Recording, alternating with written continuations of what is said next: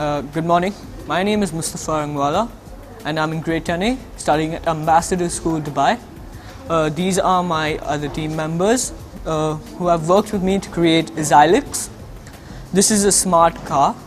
It uh, uh, uses solar power to charge batteries and these batteries um, further help to make, make the car move. We have used the Diva robotics kit as well as a few junk items that I had at my house and we have come up with this.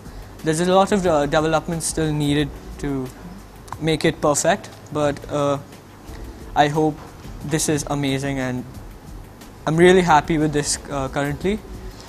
Um, we had the Diva team help us, the Diva Junkbot team help us uh, in uh, a few places and I would like also like to ta- uh, thank them and uh, thanks to Diva for organizing these robotics competitions and uh, letting us participate in them and uh, also thank you to my teacher who has been with us throughout and has helped us at every stage uh, and I'm looking forward to uh, many more competitions to come.